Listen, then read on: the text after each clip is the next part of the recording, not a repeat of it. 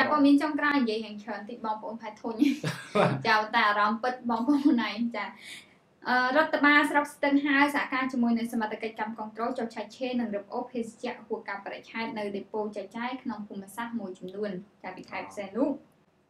នេះព្រឹកថ្ងៃ27ខែកញ្ញាឆ្នាំ2017ភេសជ្ជៈហួសការបរិច្ឆេទមួយចំនួនធំត្រូវបានសមាជិកកម្មគ្រប់គ្រង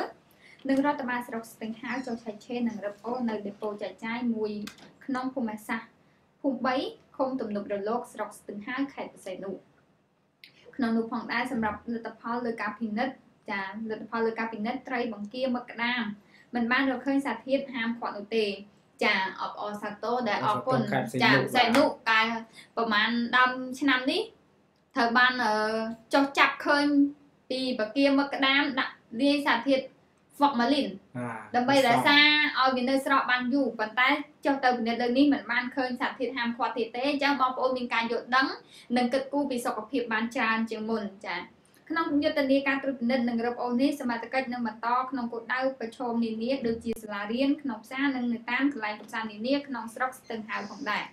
ចា៎តែចំណុចខ្វះខាតតិចតួចគឺភេសជ្ជៈនៅតែគាត់លក់ដោយខ្វះ